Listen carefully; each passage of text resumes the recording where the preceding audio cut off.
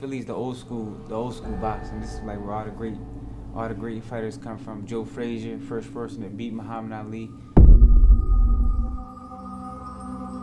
Philadelphia has a rich history of boxers. Even Rocky Balboa, even though he was a movie, but that that was just a movie painted on how the people in Philly are. We tough and we never give up.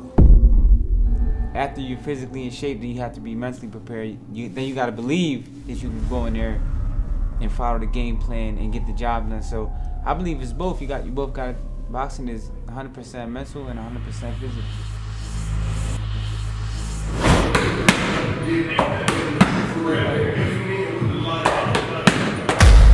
Philly, I think we just breed the best boxers in the world.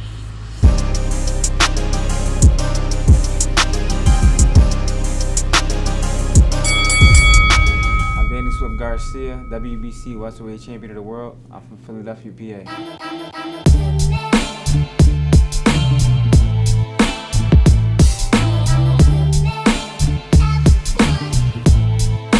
Growing up, I was say my favorite boxer was, I had a few. Um, I like Prince Naseem Hamed. Um, I like Felix Trinidad. I liked um, Bernard Hopkins growing up. Roy Jones. Um, Chavez. Um, I was a fan of a lot of boxers, but those are mostly uh, the fighters I looked up to and try to take some of the things out their arsenal put into my arsenal.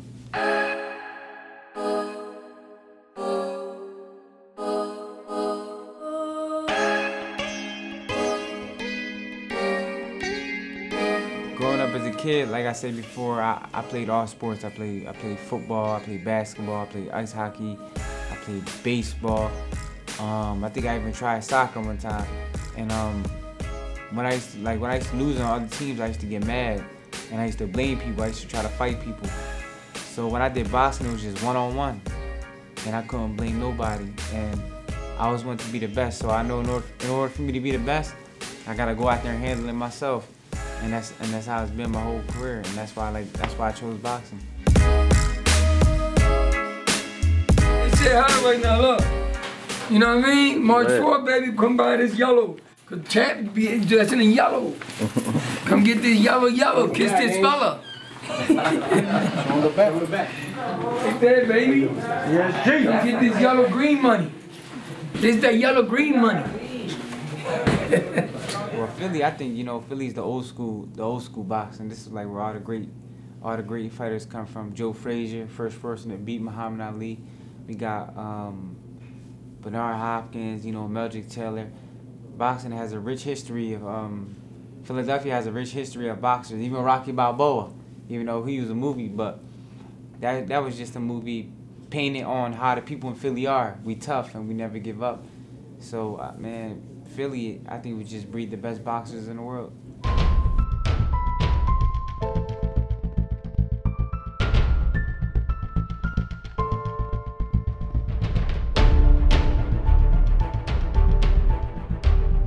It's physically because you have to be physically in shape. You got to be more. You got to be more in shape than the average person. So um, after you're physically in shape, then you have to be mentally prepared. You, then you got to believe that you can go in there and follow the game plan and get the job done. So I believe it's both. You got you both got boxing is 100% mental and 100% physically.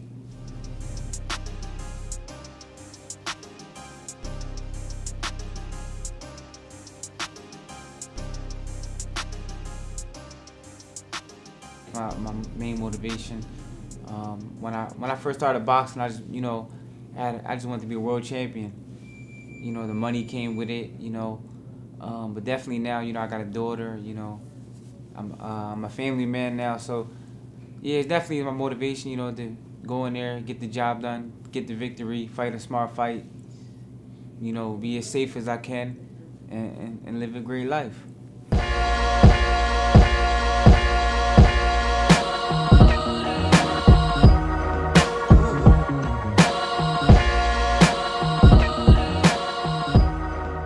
I'm, a competitive person. I never back down from a challenge ever in my life. Um, so you know, March 4th, I'm fighting. Uh, it's a unification fight between two world champions. I'm a world champion. He's he's a world champion. So I never backed down. I always wanted to be the best. I never, I, I was never scared to be great. So um, I like challenges. I'm a competitive person. That's how I've been my whole life. I like proving to the world who I'm the best, and that and that's what it's all about.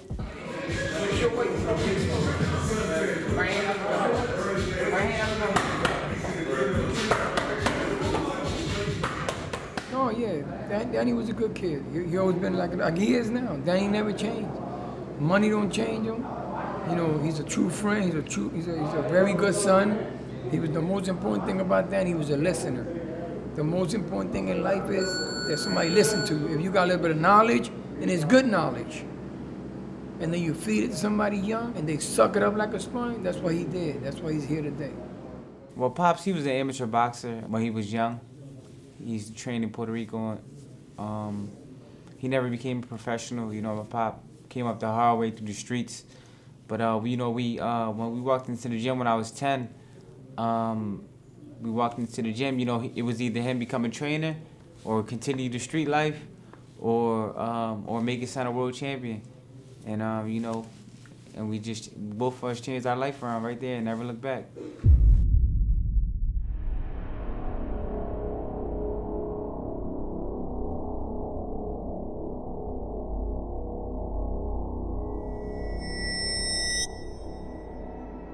I the camp where I just put all these vegetables and uh, fruits and mix them in a blender, um, or in a juicer, and then I drink it. Yeah, I was feeling, I was feeling great doing that. There's only one problem with that: when you stop doing it, your body shuts down. Like you start throwing up, you start getting nauseous. So it happens to me right before a fight. When I fought Robert Guerrero, I juiced the whole camp. Then I got to LA. You know, um, my girl was doing it for me every day. She wasn't around. I just started drinking like regular stuff, like like I was drinking like a soda or iced tea, and my whole my body just went through a crazy withdrawal, and I was just throwing up. Like I couldn't get it together. Like a lot of people don't know, I was sick before the Robert Guerrero fight because of the juicing. So I, I gave it up for this fight, man. I just I just stuck to the basics, kept it old school. I'm motivated to open the gym, you know, to the public because uh, I was once that kid, you know, who needed somewhere to go after school. You know, boxing saved my life. You know, a lot of kids make a U-turn after school. After school, you go hang out with your friends. You know what I'm saying? You might, you might start, you know, selling drugs or trying to get, you know, you want to look fly. So you might start selling drugs, you know, smoke weed and let it escalate, you know, pills and, and things like that. And that's how you become, you know, addicted get caught up in the wrong things living in the city. So I would I opened it up just to give the kids the uh, chance to come come to the gym and um, you know don't get caught up. Give them something to do, so they won't get caught up in in bad things. Well, I see, you know, after this fight, March 4th, you know, I don't know what excuses they're gonna they're gonna bring to the table with what, what Thurman probably got. From the last time he fought Porter, remember he had an accident and he caught whiplash, whatever he had, they're gonna say that damaged him now. He's gonna say he, his neck was hurting or something. Because every time Danny beats somebody, they don't say Danny Garcia, the greatest fighter ever. They'll say Danny just know how to win. Because they're making this fight seem like if Danny wins, it's just a win. But if Thurman wins, he's the superstar, 147. But we're not I'm gonna, the superstar. he gotta go through this wall first. Yeah, exactly. Danny is a superstar, but I'm just saying, like the way that people know how to win. No, he don't know how to win. He know how to get the job done.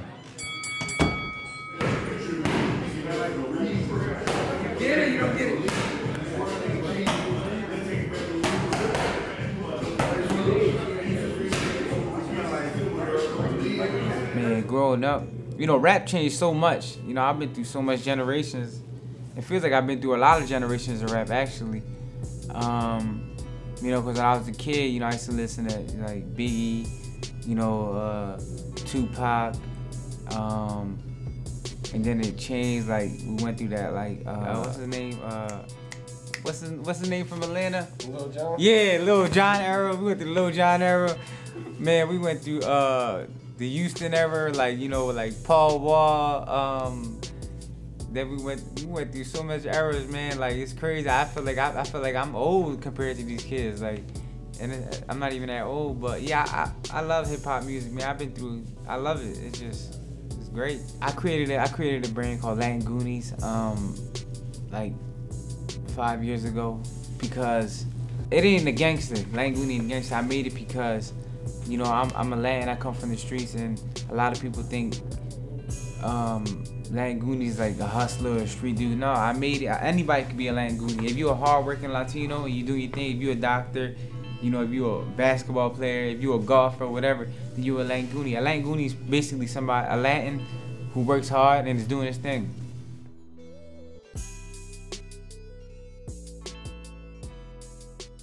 I've been listening to Pandora to be real. nah, I'm messing with you. I'm listening to my mixtape. I got a uh, I got a playlist on my mixtape. Got a Lil Uzi. Um, but look, my, my favorite mixtape, my favorite mixtape is Casino Life 2. That's my shit by French Montana.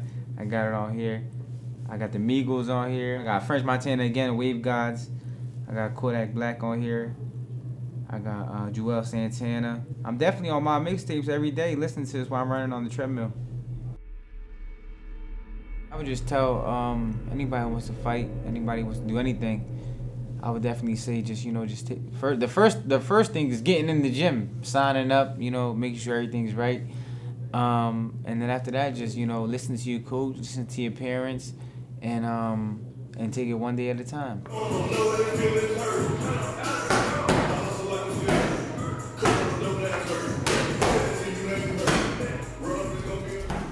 Far as being an underdog, you know, it's crazy, man, because I proved myself time and time after again. I think it's a picture that the media gave me. You know, it's just a uh, portrait they painted. That that's the image they gave me in the sport. You know, every fighter got their image, but I think that's the image they give me to try to sell me. You know, to make people tune in. Like, uh, can the underdog pull it off again? You know, but um, you know, I know I'm a true champion. I know, I know I'm a, um, like I said before, I was an underdog in the Amir Khan fight. I was an underdog in the Lucas Matthysse fight. I think they got me as a slight underdog on this fight, and I'm the world champion. But you know, it is what it is. At the end of the day, like I said before, it's just a bunch of people who don't know what I could do, and that's that's why I gotta go in there and prove, prove to the world why I'm the best again. In our camp, in our dictionary, is no we shoulda did this, we shoulda did that. Is no shoulda.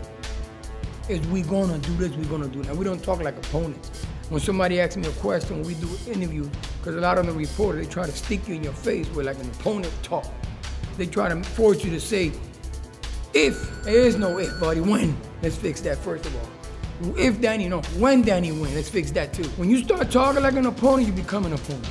Because at fight night is no, we should have did this, we should have that. It's too late for sure. It's too late after that. It's no looking back. It's we're gonna do this, we're gonna do that. March 4th, Danny will still be the WBC. New WBA at 147. Tune in March 4th, brother. Still undefeated champ of the world, WBC.